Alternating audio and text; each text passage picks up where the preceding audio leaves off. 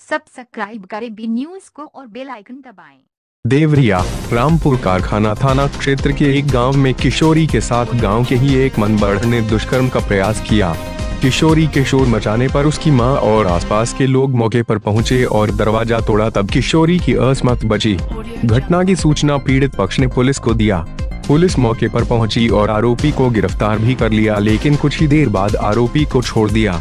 पीड़ित किशोरी की माँ ने आरोपी के खिलाफ कार्यवाही के लिए तहरीर दी, लेकिन पुलिस कार्यवाही की बजाय इज़्ज़त जाने का हवाला देकर समझौता कराने में जुट गई। घटना के बाद पुलिस का रुख देख अपनी बेटी को लेकर उसकी माँ जिला मुख्यालय आई और पूरा दिन अधिकारियों के कार्यालय का चक्कर काटती रही, लेकिन उसे न्याय नहीं मिला। घटना के समय किशोरी अपने घर के अंदर सब्ज़ी काट रही थी। इस बीच गाँव का ही एक 35 वर्षीय युवक घर के अंदर घुस गया और अंदर से दरवाज़ा बंद कर किशोरी के साथ दुष्कर्म का प्रयास करने लगा। किशोरी के शोर मचाने पर उसकी माँ और आसपास के लोग मौके पर पहुँचे और दरवाज़ा पीटने लगे। दरवाज़ा नहीं खोलने पर ग्रामीणों ने दरवाज़ा को धक्का दिया और किली टूट गई। अंदर से किशोरी को निकाला। इस बीच आरोपी फरार हो गया।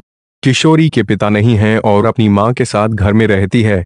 घटना के बाद पीड़िता की माँ क्षेत्राधिकारी देवरिया कार्यालय, एसपी व एसपी कार्यालय गई, लेकिन कोई अधिकारी नहीं मिला, जिससे अपनी पीड़ा बता सके। थाना पुलिस कार्रवाई की बजाय मामले को समझौता कराने में जुटा है।